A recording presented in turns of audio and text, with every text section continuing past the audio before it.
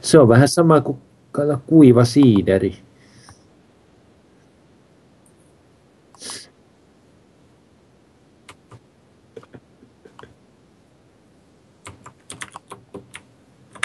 Vittu! Taas kuoli. Mitä vittua oikeasti?